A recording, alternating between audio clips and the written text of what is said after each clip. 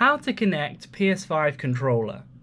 If you're connecting your first controller, i.e. you don't have one already connected, what you want to do is get your PlayStation 5 controller, then press and hold these two buttons here at the same time, the share button and the middle PlayStation button. Press and hold that for around 5 seconds until you can see the blue lights flashing in the middle. That's when you know it's turned on.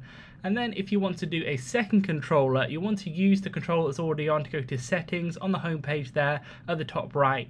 Then you want to scroll down to the section where it says accessories.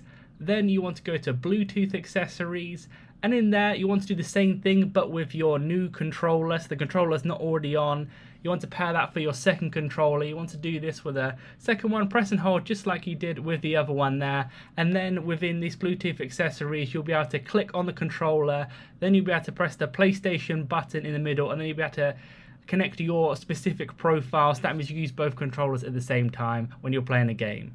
Leave a like on the video if it helped and subscribe for more helpful videos.